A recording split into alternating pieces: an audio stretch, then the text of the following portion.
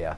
Um, so in this one exactly, again, they're asking us to find the zeros. So we replace this with 0. Therefore, now it's already in factored form, so I apply the zero product property. So I have x minus 2 equals 0, and x plus 7, e or x plus 7 cubed equals 0. Now you just go ahead and solve for x.